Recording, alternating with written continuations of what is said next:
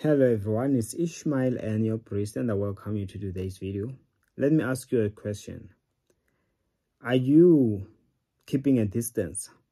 What are you doing? Do you have people whom you can tell they are not real?